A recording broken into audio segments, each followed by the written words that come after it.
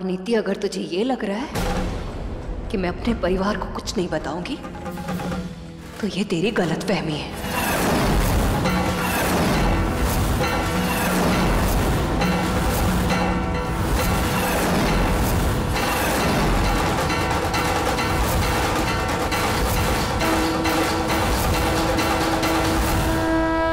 हुआ यह है कि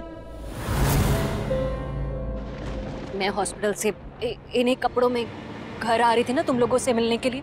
तो ये कहने लगी कि हॉस्पिटल के कपड़ों में घर मत जाओ। तो मुझे ना इस पे गुस्सा आ गया और मैंने इसे डांट दिया।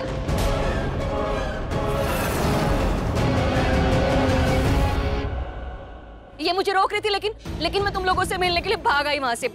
अकेले, आगे आगे भाग रही थी और ये ये मुझे रोकने के लिए मेरे पीछे पीछे भाग रही थी मुझे। नीति ने बिल्कुल ठीक किया, तुझे अकेला ना छोड़ के।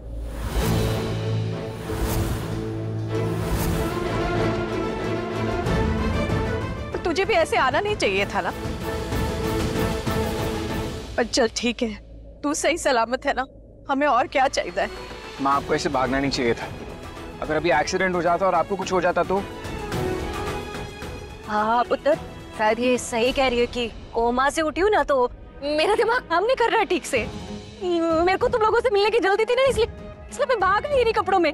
वो मुझे रोक रही थी ना तो मैं रुक नहीं रही थी। पुत्र मैनू मैनू जल्दी से घर लेके चल। जल, जल्दी से घर ले चल। चलिए मम्मी चलिए।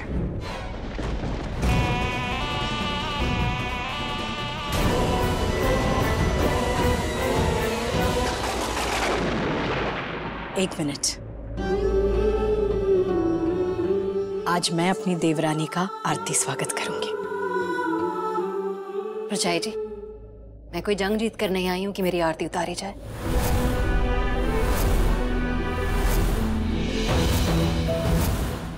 गल्ला कर रही है तू। इतने दिनों बाद तू घर वापस आई। तेरा स्वागत करना हमारा फ़र्ज़ बनता है।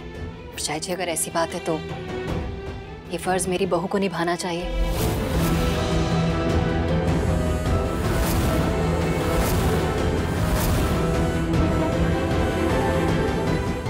इसे करने दीजिए आरती। ये क्या नया नाटक है मम्मी जी का?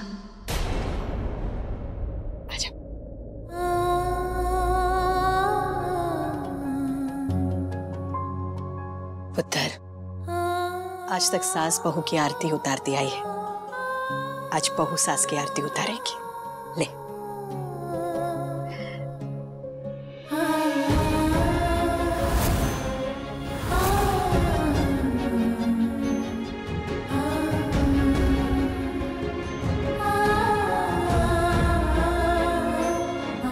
Welcome, mummy ji.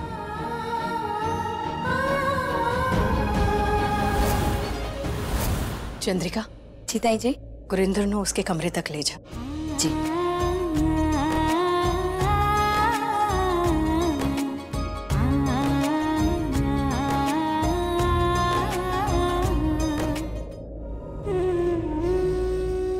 आप लोग सब जिस तरह से गुरिंदर के सामने खुश होने का नाटक कर रहे थे ना, बस उसे बनाए रखना, क्योंकि अभी उसे नहीं पता कि संजू और परी का बच्चा, अगर अगर उसे पता चल गया तो शायद इस सदमे को वो बर्दाश्त ना कर पाए।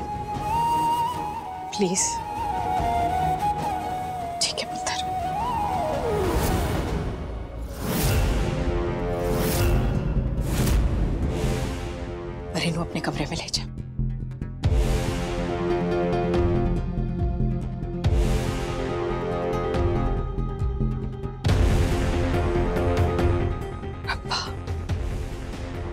चलिए। अंदर चले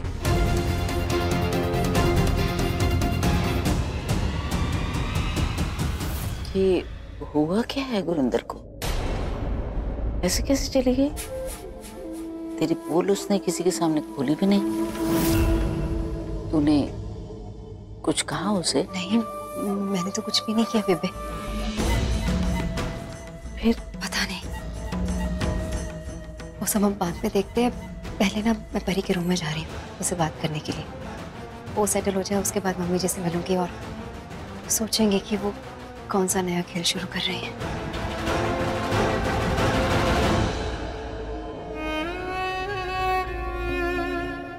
हम आपके बच्चे को नहीं बचा पाए।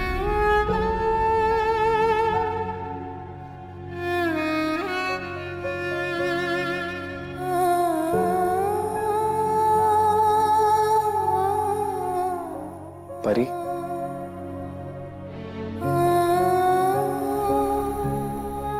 मेडिसिन ले लो।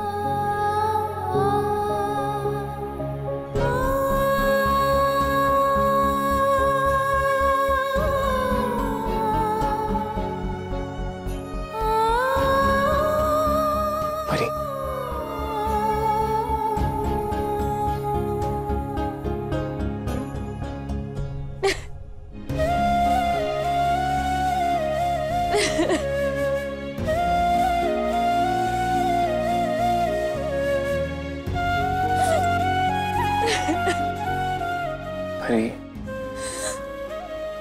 तुम्हें पता नहीं है, पर तुम बहुत हिम्मत वाली हो, बहुत strong I am really proud of you Pari I can understand कि तुम्हारे ऊपर क्या बीत रही है।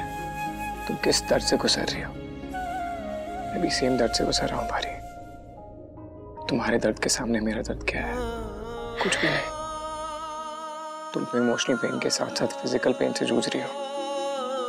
एक माँ के लिए अपने बच्चे को खो देना, इससे बड़ा दर्द कोई नहीं होता पूरी दुनिया में। दर्द देखो। अभी तक हिम्मत रखी है ना? आगे भी हिम्मत रखनी होगी।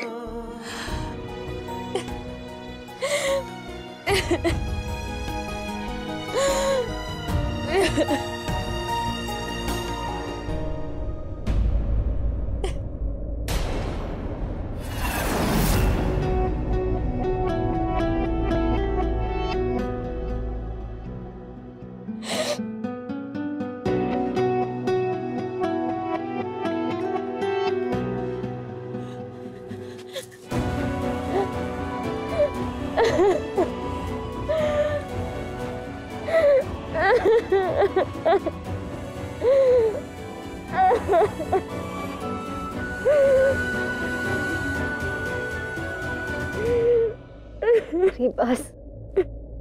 बस।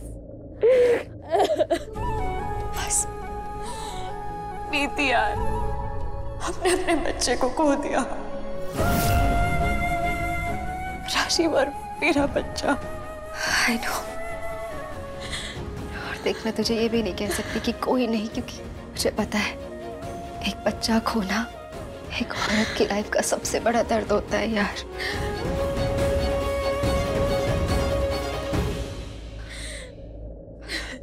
परी, एक बच्चा ना अपने साथ माँ का बहुत कुछ ले जाता है। सिर्फ़ एक बच्चा नहीं मरता। बल्कि उसके साथ उसकी माँ भी मर जाती है। अंदर ही अंदर एक ऐसा खालीपन आ जाता है जो कोई नहीं भर पाता। थैंक यू ताई जी जो आपने परी के बर्थडे के बारे में इतना कुछ सोचा। पुत्र परी जिस दर्द से गुजर रही है ना अगर हमने उसे ऐसे ही छोड़ दिया तो वो डिप्रेशन में चली जाएगी पुत्र। लेकिन तू चिंता मत कर। आज मैं उसका जन्मदिन ऐसे शानदार तरीके से मनाऊँगी ना कि वो अपना सारा दर्द भूल जाएगी। ये ले पुत्र, ये दूध उसे पिला देना और दवाई भी खिला देना। मैं जाकर शाम की तैयारी शुरू करती हूँ।